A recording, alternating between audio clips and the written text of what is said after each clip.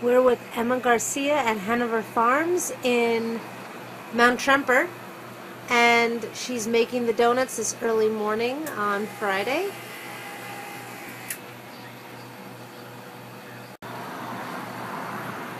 Here are some that already have just freshly been powdered.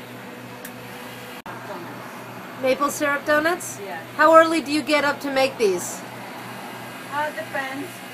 Sometimes 5 a.m., 5.30. Uh, weekends. During the week, uh, 8.30.